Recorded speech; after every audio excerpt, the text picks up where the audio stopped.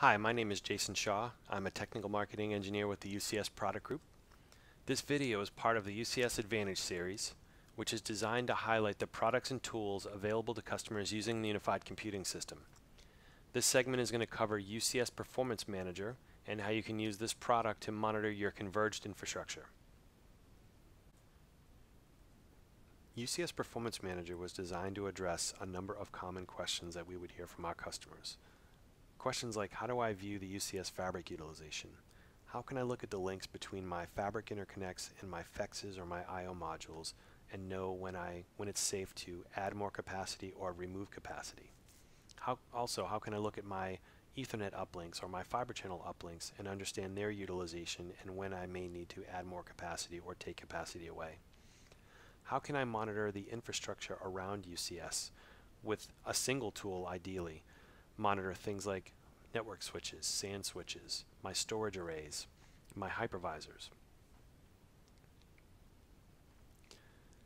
UCS Performance Manager is packaged up as a virtual appliance. So from cisco.com you would download a single OVA, deploy this into your hypervisor of choice. Today we support VMware or Hyper-V. After a few initial setup steps of pointing the tool towards the open interfaces of your infrastructure, interfaces like SNMP or the open APIs that those products offer like the UCS Manager XML API or the SOAP API that vCenter has.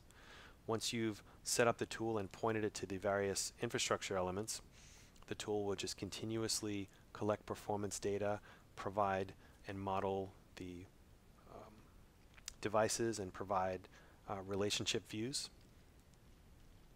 So let's take a look at some of those views.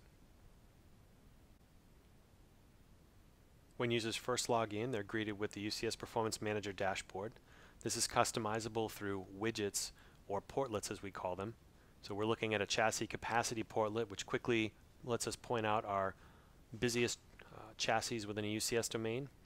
Another portlet we'll add here is a server capacity portlet to let us quickly uh, find our busiest servers, blades or racks, within a domain. We can sort through uh, some of the columns that you see at the top, uh, average transmitter receive utilization or max transmitter receive utilization.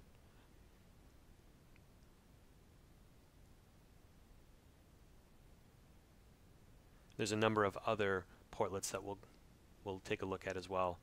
So the topology view, this is something that paints very quickly after adding a new UCS domain in. We get uh, a graphical representation of the topology of that system, um, links that we can click on visual fault indications when thresholds have been crossed or faults exist on an object.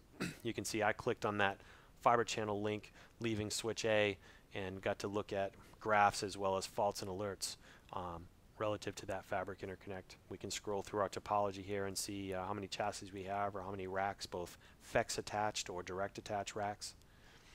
The bandwidth view within the UCS domain that you see here, this is probably one of the most differentiating views, I think, uh, in this product. We can look at the UCS traffic from a network perspective, starting with the SAN cloud, looking at totals going northbound for that entire domain, uh, or go into each individual fabric interconnect or the fiber channel members. And again, sort uh, according to what type of traffic we're looking for. Similar, similarly on the LAN cloud, uh, you'll see us move to the LAN cloud as well and uh, same type of breakdown there. Um, totals of Ethernet traffic going northbound or going into each individual fabric interconnect and the Ethernet members. In this case, these are four 10 gig links of a port channel and I can look at this from the port channel perspective here or go down to the individual members. You can see I've got FEXes and uh, we break out direct attached storage as well, which I don't have uh, configured in this example. So lots of great traffic here. You know, when we look inside of a chassis, this is how we can look at the fabric level, you know, how utilized are those links between my I.O. modules and my fabric interconnect. And I can see this again as a whole or the individual 10 gig links. When I switch to the server view, now I'm looking at this from a server's perspective, blades in a chassis, or even my FEX attached rack mount servers or directly attached rack mount servers, and get utilization that way as well.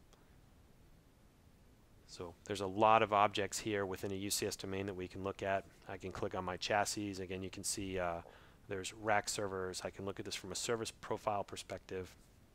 Here I'm going to drill in on a chassis, see my blade servers within that chassis listed below.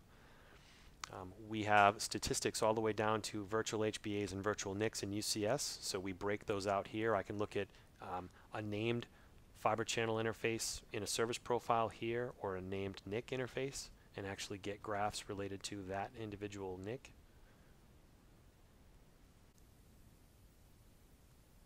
So this is our aggregation pool view. You'll see this uh, in each UCS domain that you have registered. This is a collection of all the areas of aggregation within a UCS domain. Some of the same data that we've seen in other places. Here are our total uh, fiber channel views, you know, for the entire domain per fabric interconnect, uh, per member on a fabric interconnect. We're also going to see the numbers for traffic between the fabric interconnect and the IO modules or the FEXes.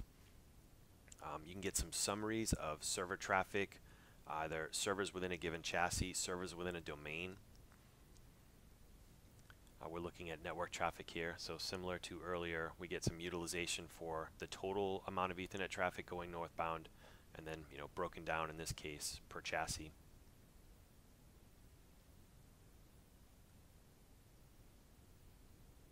Now when we look at service profiles, you'll notice something interesting. Uh, CPU utilization, memory utilization, these are things that you normally would not see in UCS Manager.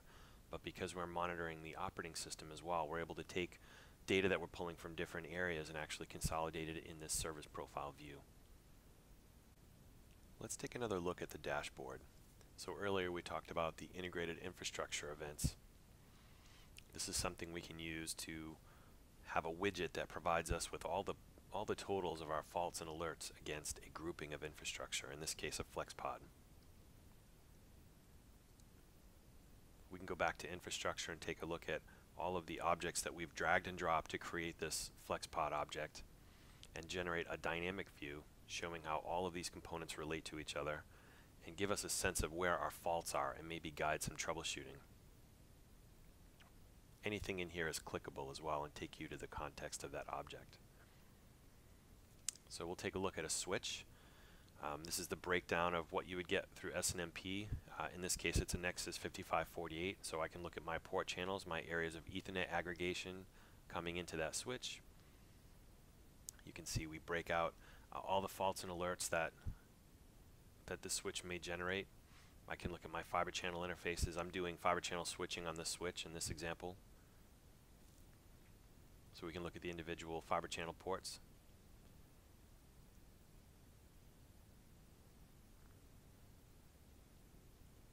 Now let's take a look at a vCenter and see how that gets modeled. So we get a nice summary page of how much storage and compute we're using, how much is remaining. I can navigate through my clusters uh, into my hosts within that cluster and also view all of the virtual machines within that host. Um, if you have your operating system registered, we do correlation between the host name at the operating system and the VM name.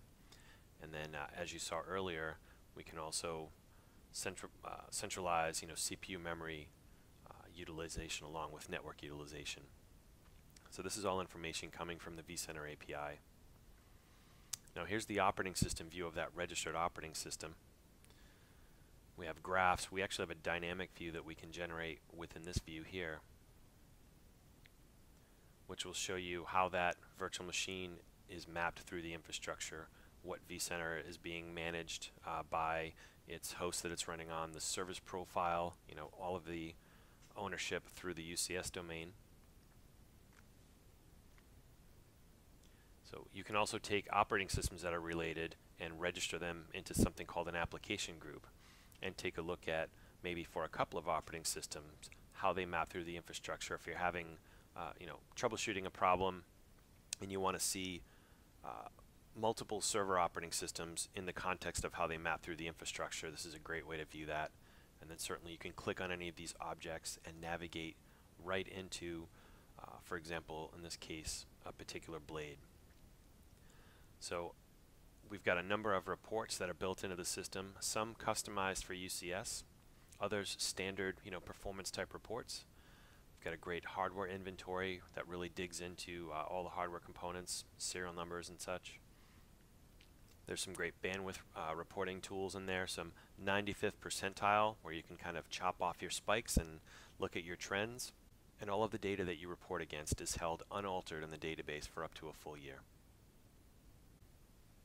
So to summarize, we've looked at how UCS Performance Manager can help a system administrator monitor and understand capacity for a set of converged infrastructure, looking not just at the UCS components, but at the network, storage, and hypervisor elements surrounding the UCS domain.